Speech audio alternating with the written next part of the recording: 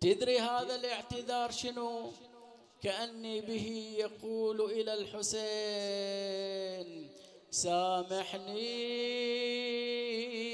يا أبو اليمة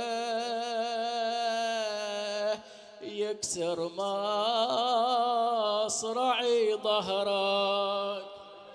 يقول أنا ما أريد أذيك يا أبا عبد الله لكن أدري إذا وقعت على عند الشاطئ ينكسر ظهرك. ما أريدك تكون في هذا الموقف. يقول بعض أرباب المقاتل حينما جيء بالسبايا إلى يزيد ادخلوا على يزيد يقولون جابوا وياهم لواء العباس. أخذوه من المشرعة من كربلاء ودوه إلى يزيد. يقول نشروه أمام يزيد. كان اللواء ممزقا ما فيه مكان إلا وفيه ضربة. وفيه طعنة كان ممزقا بأكمله إلا موضع واحد. شنو هذا الموضع؟ يقولون موضع قبضة كف أبي الفضل العباس.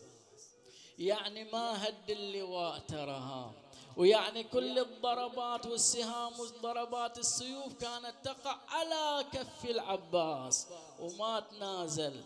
يقول تقول يقول النص التاريخي يزيد بن معاوية وقف على رجله وهو يقول لله درك يا أبا الفاضل أهكذا يصنع الأخ لأخيه. هذه شهادة عدوها.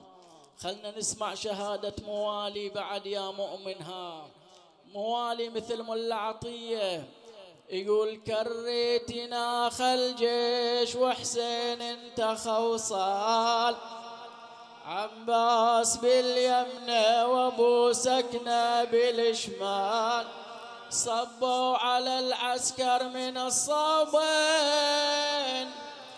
والكل قصد خية ورفيف العلمنا شو صف عايلهم به الكوفان الاثنين مثل الزلازل نازل على الجيش صوبين شنه الزلازل من عزم عباس وحسين عافت ملازمها وخلت حومة الماء.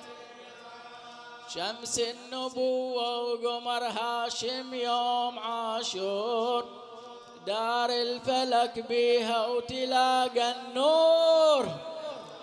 شقوا اسحابي من الكتايب والسماء احتضنا وطلعت زينب ترحم. هذه شهادة ملا عطية. جت أم البنين تقول أنا بعد عندي شهادة في حق ولدي العباس ها. فلذت كبدها شنو يا أم البنين؟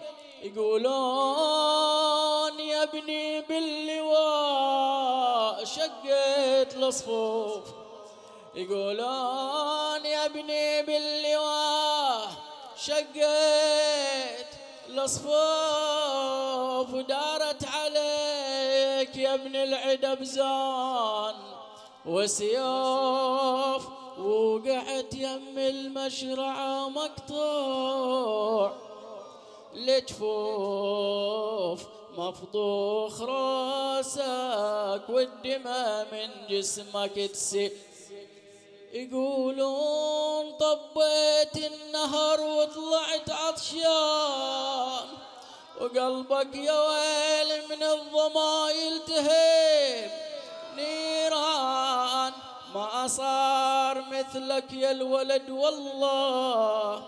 بالاخوان لجلك لقضي بالبجان هاري معله يقولون راسك يوم حط بحجره حسين للقاع ذبيته يا عقلي ويا ضيال.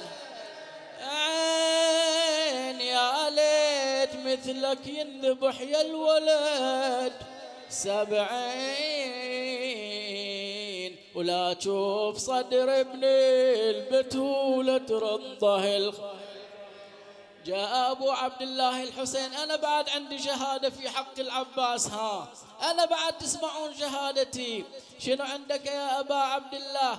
قال ما شفتنا في الإخوة. مثلك بذل مجهود.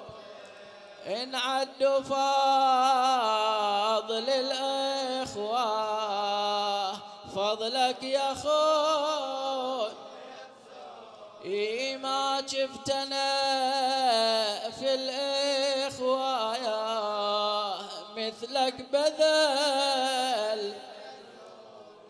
قطع العدا ذرعانه وشال العلم. وانهض يا خويا كل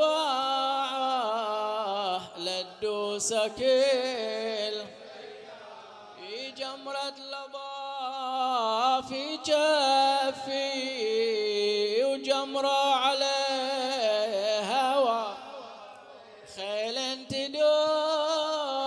تدوس علي وخيل على فصل. يا خيل تدوس علي وخيل على فسطى. سهم العدا صايبني وسهمي عليهم. وانهض يا خويا توعى لدوسك ال